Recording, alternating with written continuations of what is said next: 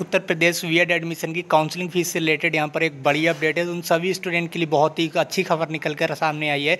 काफ़ी ज़्यादा स्टूडेंट यहाँ पर अपने वी एडमिशन की काउंसलिंग फ़ीस से रिलेटेड काफ़ी ज़्यादा परेशान है। लगभग डेढ़ मंथ हो चुका है बट उनकी जो काउंसलिंग फ़ीस है वो अभी भी रोहिलखंड यूनिवर्सिटी की तरफ़ से रिफंड नहीं की जा रही है।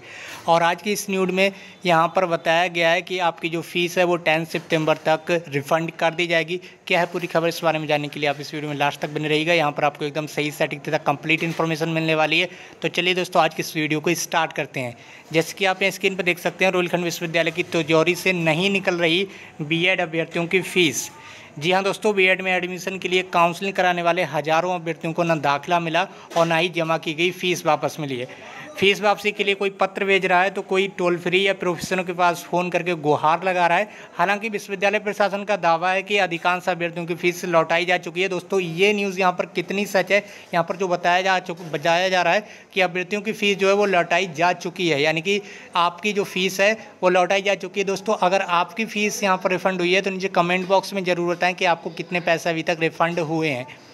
दोस्तों, आपको हमारे चैनल पर बी के रिलेटेड सभी इन्फॉर्मेशन लगातार प्रोवाइड की जाती है तो अगर अभी तक आपने इस चैनल को सब्सक्राइब नहीं किया तो चैनल को सब्सक्राइब करके बेल आइकन को ज़रूर प्रेस कर लें। चलिए आगे यहाँ पर देखते हैं, कुछ की बकाया है 10 सितंबर तक उनकी फ़ीस भी लौटा दी जाएगी। यहाँ पर आप देख सकते हैं न्यूज़ में बताया जा रहा है, दस सितंबर तक उनकी फ़ीस भी लौटा दी जाएगी तो जो इन स्टूडेंट की फ़ीस भी अभी रह गई है, उन स्टूडेंट को टेंथ सितंबर तक वेट कर लेना है। फिर भी अगर नहीं आती है तो आगे यहाँ पर जो भी न्यूज़ होगी, उसके लिए आपको यहाँ पर बताया जाएगा। उत्तर प्रदेश बी संयुक्त प्रवेश परीक्षा का आयोजन एम जे विश्वविद्यालय ने किया था। काउंसलिंग शुल्क या बी की पूरी फ़ीस जमा करने वाले ऐसे करीब दस हज़ार अभ्यर्थी सामने आए, जिन्हें प्रवेश नहीं मिला। इनमें करीब पाँच हज़ार की फ़ीस पहले लौटाई जा चुकी है और जिन स्टूडेंट की फ़ीस अभी रह गई है, उनकी टेंथ सितंबर तक यहाँ पर लौटाए जाने के लिए कहा जा रहा है। तो दोस्तों, ये थी आज के लिए कुछ इंपॉर्टेंट इन्फॉर्मेशन अगर वीडियो आपको पसंद आई हो तो इसे एक लाइक ज़रूर करें, अपने फ्रेंड के साथ शेयर कर दें।